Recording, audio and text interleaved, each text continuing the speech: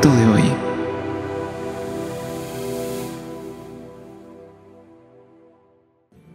Hola familia, buenos días desde Barcelona. Bueno, hoy terminamos el ciclo de la ley de la creación, las leyes de la creación. Sabéis que somos creadores conscientes y el recorrido desde que te, te marcas un, un proyecto hasta conseguir tu objetivo, hay un proceso. Y ese proceso se llama las leyes de la creación. Para ser un creador consciente, hemos ido trabajando todas las leyes hasta la última que es la del día de hoy. La primera ley era la de la atención, acordaros, Dónde está tu mente, ahí estás tú. La segunda ley era del fluir, para poder adaptarte a los cambios que van llegando día a día. La tercera es tener un campo magnético totalmente abierto y positivo para traer la abundancia a tu vida. La cuarta era tenerlo claro, la ley de la claridad, que tenía, ya lo vimos, cuatro aspectos. Eso eran las cuatro leyes de causalidad y luego venían las cuatro leyes de consecuencia. La primera ley de consecuencia era la ley de la intención. La intención, qué intención le pones tú a las cosas. Y la ley de prosperidad. ¿eh? Prosperidad e intención. Abrir puertas a una conciencia próspera con una intención clara y pura. Y después de la prosperidad y la intención, venía la manifestación, o sea, venía la puesta a punto, la creación física de ese proyecto terminando ese punto. Bien, cuando se manifiesta aquello que tú quieres, aquello que tú has creado con tu pensamiento y con tus intenciones, llega la última ley, que es la ley del éxito.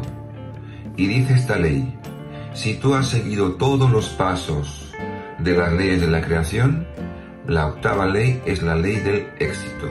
Es decir, a lo que tú querías o te imaginaste o proyectaste el primer día con tu atención, ahora se ha manifestado.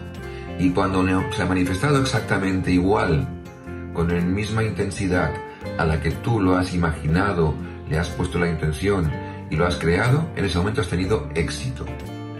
El problema es que nosotros confundimos éxito con fama. Hay mucha gente que cree que tiene éxito y solamente tiene fama. Entonces diferenciamos un poquito para cerrar este ciclo de las leyes de la creación entre la diferencia entre éxito y fama.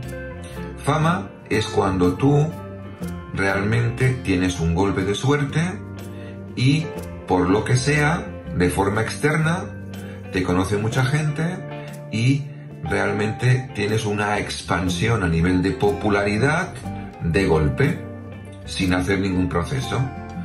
Y éxito es el trabajo minucioso para que aquello que quieres que se manifieste en tu vida se cumpla.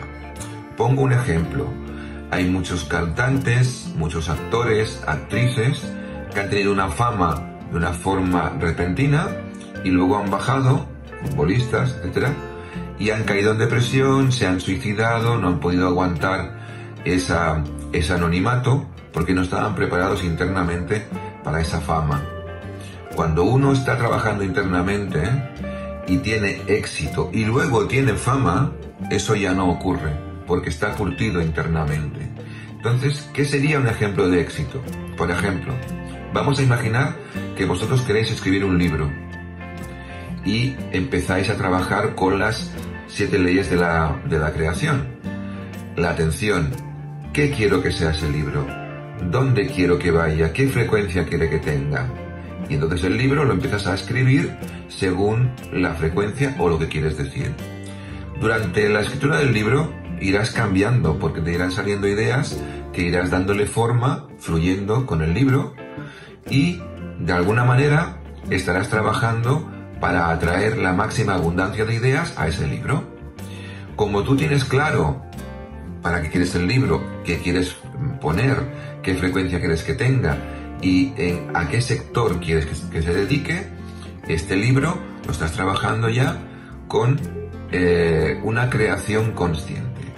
Luego, ¿qué ocurre? Si tú tienes una mentalidad próspera, escribirás el libro simplemente porque tienes este deseo de escribirlo, porque necesitas escribirlo para seguir expandiendo tu conciencia.